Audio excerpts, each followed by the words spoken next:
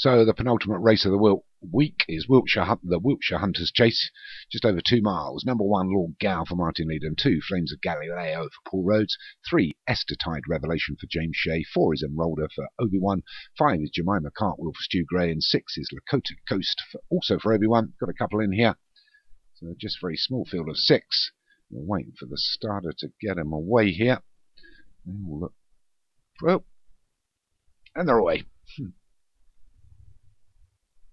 So over two miles, should be lickety split before race 39. Be led by Lord of Martin Wyndham over the first of 14. Well, slow jumps, of slow jumps towards the rear from Jemima Cartwheel and Roller and Lakota Ghost. It's Lord Gow that's uh, sprinted off into the front and got himself a three-length advantage from Flames of Galileo and Esther Tide Revelation. And a length and a half back to Jemima Cartwheel. William Roller and Lakota Ghost. He's already getting, well, caught for toe. And he's probably 15 lengths away from the leader already. They all get over the water and we're well strung out. All gals decided to bowl along. As all go over the third, poor jump there by Jemima Cartwheel. I've lost sight of the Roller and Lakota Ghost already. We've still got a mile and a half to travel and a further 10 fences to take. Rear. So Lord Gal leads us just by a length and a half now from Flames of Galileo as they go over that ditch. And they say, oh, we've lost both Obi-Wan's horses. Serious chill. We didn't see it, but Enroller and Lakota Ghost probably took each other out. So we're down to four. And all over the six.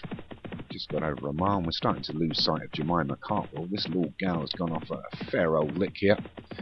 Lord Gout from Flames of Galileo in second, Esther Tide Revelation is third, and Jemima Cartwheel brings up the rear in fourth.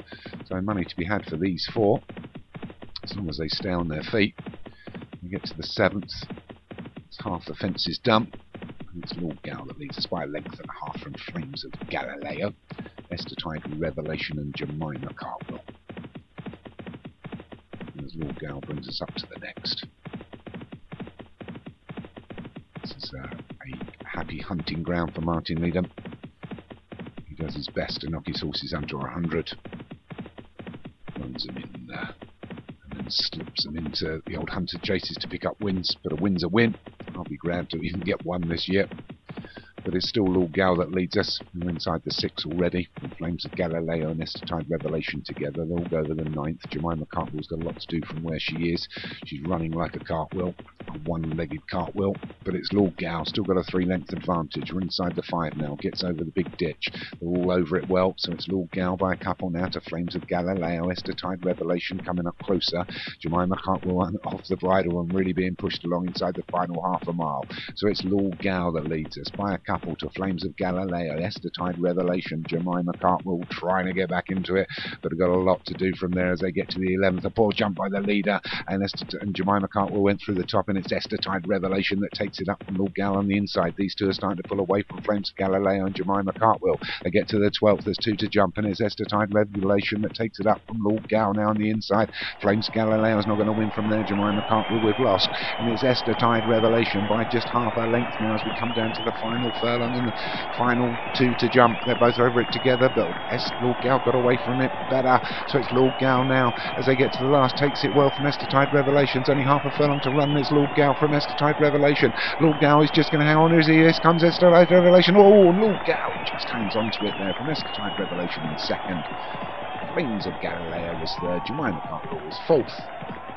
As I said, Martin pops up in a hunter's chase and wins one off the bridle a little bit there from Esther Tide Revelation. And a good distance back to Flames of Galileo for Paul Rhodes. Jemima Cartwheel for Stu Gray was fourth. So it's a winner piece for James Shea, Martin Leedham, and Thomas Rogers in the opening three Hunter Chases of the week.